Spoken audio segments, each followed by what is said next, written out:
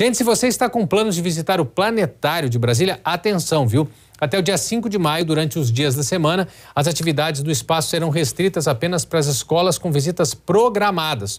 Durante esse mesmo período, aos fins de semana, o acesso do público será feito somente por agendamento. O planetário funciona de terça a domingo, das 9 horas da manhã até 6 horas da noite, com entrada gratuita. Mais informações pelo telefone que está agora na sua tela, 99 8199 2692. 99 8199 2692.